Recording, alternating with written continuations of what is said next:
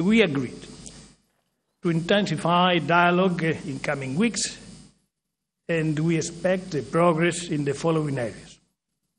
First, there will be a second meeting before the end of October. An agenda for that meeting will be worked out through diplomatic channels, and it will focus on nuclear issues, including proposals previously put forward by both sides, and it will also deal with uh, some global issues that any of the parties wish to address.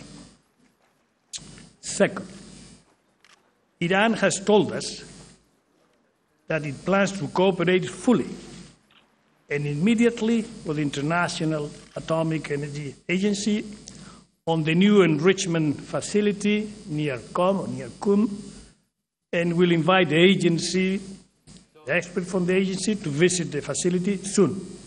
We expect within the next couple of weeks. On that issue, on that issue I also talked on the phone with the director of the agency, Mohammed El Baradei.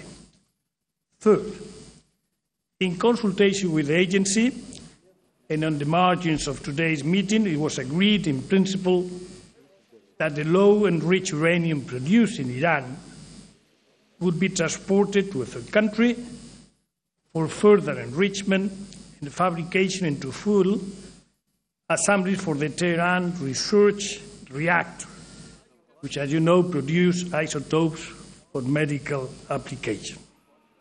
Details on this point, which is a technical one, will be worked out in a meeting of experts from the agency and countries interested, in particular the United States, the Russian Federation, and France, in Vienna on the 18th of October, so that implementation can begin as soon as possible.